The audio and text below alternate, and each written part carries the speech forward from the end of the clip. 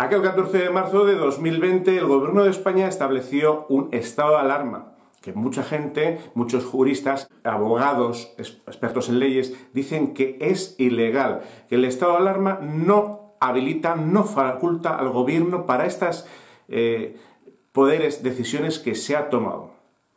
Eh, ¿Para qué hizo aquel estado de alarma el gobierno? Pues porque se le pasó porque no tomó medidas antes, vamos a decirlo claramente, no tomó medidas antes contra un virus y se descontroló.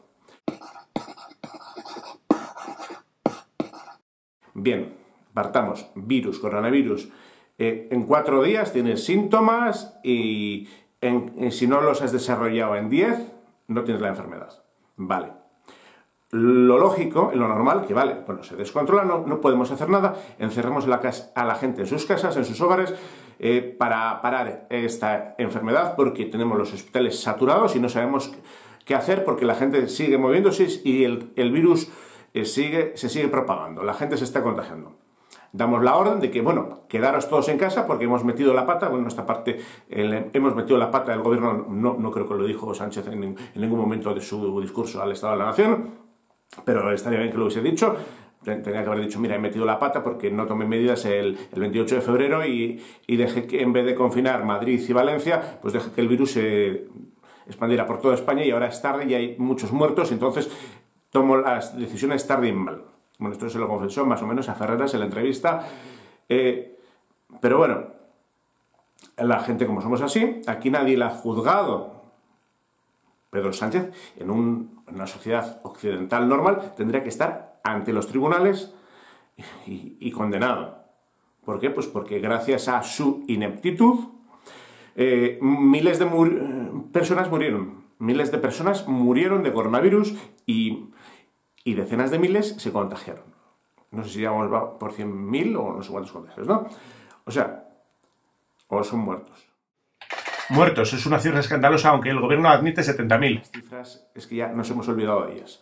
Porque han sido tantos y el gobierno ahí sigue tan pancho haciendo eh, juegos de sillones de tronos, como le gusta a Iglesias. A, Iglesias le gustaba jugar de, tronos, pero Sánchez lo que ha hecho en Murcia y, por ahí, y, Castilla y León y Madrid pretendía hacer juegos de tronos. Sentarse, quitarse ellos del sillón. Bueno, convoca un estado de alarma ilegal. Eh, encubriendo un estado de excepción para tomar decisiones para privar a los españoles de derechos y libertades fundamentales. Vamos a ver, ¿por qué se violan los derechos básicos fundamentales de los ciudadanos españoles? ¿Por qué la justicia no hace nada? Por, porque la justicia está comprada. ¿De quién, ¿De quién es la fiscalía? Pues del gobierno, ¿no? O sea, en España estamos en una dictadura. el que está ahí es una dictadura encubierta porque un día tomó la decisión de violar, mira, que a Pablo Iglesias no le gusta la palabra, el Día de la Mujer, vamos, ahí tenemos un interno, no le gusta la palabra violar, pero ellos la hacen esto, ¿no? Violaron los derechos de 47 millones de españoles, bueno, sí, de los españoles, los que vienen a empater a Canarias pueden, tienen libertad de circulación por el territorio nacional y los franceses que tienen cuatro veces más virus en París pueden venir en avión porque Aquí tú eres inglés, eres francés, eres cualquier, pero eres español, no te puedes mover. ¿Por qué violan el Estado español la libertad constitucional?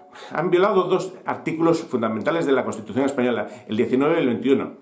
El 19 era la libertad de reunión. En estas Navidades nos prohibieron ir con nuestra familia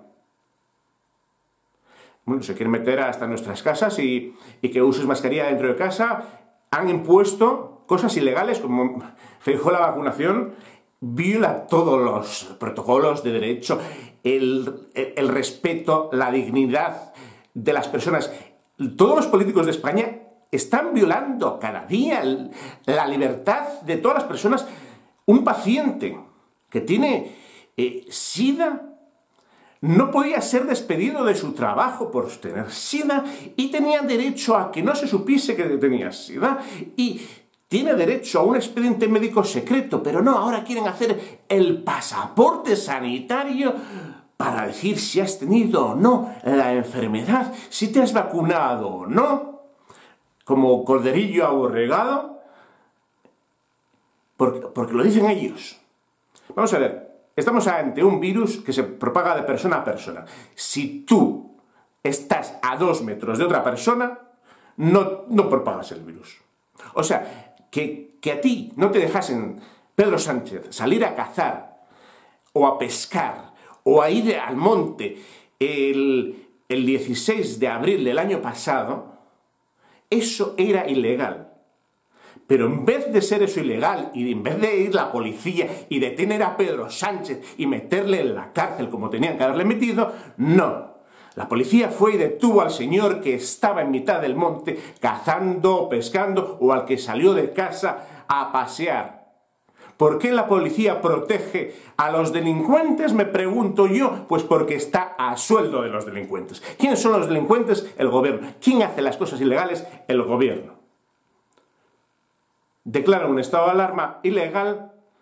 Solo se puede confinar una zona en España, por ejemplo, en, caso de, epidemia, caso... Eh, eh, lo que se hizo en Italia, en aquellas comarcas, regiones, cuando el COVID, vale, o en esa zona de Cataluña, cuando os acordáis aquel pueblo confinado en España, vale.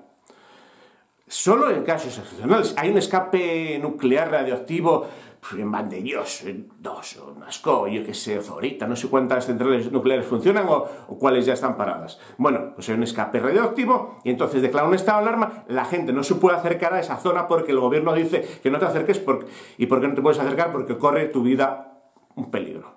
O si en esa zona hay una epidemia porque ha venido un virus y está el pueblo infectado, no dejan salir a la gente, la tienen confinada. Vale.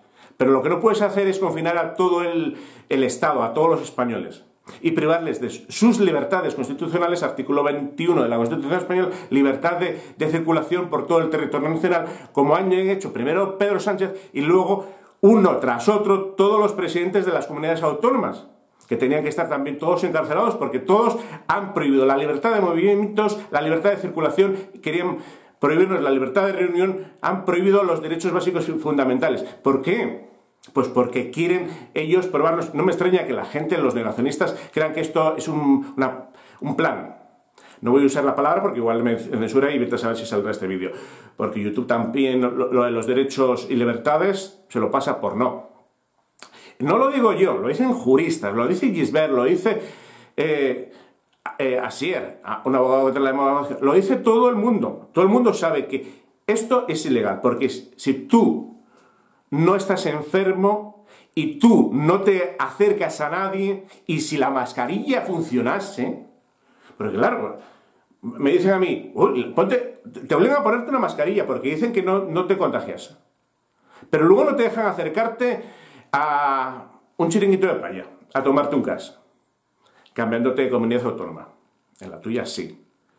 Pero no puedes ir de, yo qué sé, yo no puedo ir a la playa de, de Noja ¿Por qué? Pues porque le dice, porque hay un, un reyezuelo autonómico aquí en, Castilla y León y otro en Cantabria, y mira que, que ahí había en Revilla, que dicen que no, confinamiento perimetral. A ver, si el virus se contagia de persona a persona y tú no estás en contacto con ninguna otra persona, ¿por qué te prohíben la libertad de circulación? Que me lo explican. ¿Por qué no puedo ir yo al Parque Natural de Doñana, a la Sierra de no sé qué, a esquiar en mitad de una pista, que voy a estar solo yo esquiando por allí porque no, no esquías pegando a otro, a tu oreja? ¿O por qué no voy a poder hacer senderismo? ¿Por qué se prohíben todos esos derechos y libertades básicos fundamentales del ser humano, ya no de la Constitución española? La Constitución española refleja de la Carta Magna de los Derechos Humanos. Eh, se ha prohibido la libertad de circulación, que por cierto, un francés puede venir y un eh, magrebí viene a Canarias en patera y luego le dice al defensor del pueblo que, tiene, que, no se le prohíban los derechos. No, pero a todos los españoles, a los 47 millones, se nos ha prohibido inconstitucionalmente, violando la ley, con unos señores policías que tenían que acatar la ley, pero están violando la ley porque siguen órdenes de quienes violan la ley. ¿Quiénes son los que violan la ley? Los presidentes de los gobiernos autonómicos y el presidente del gobierno.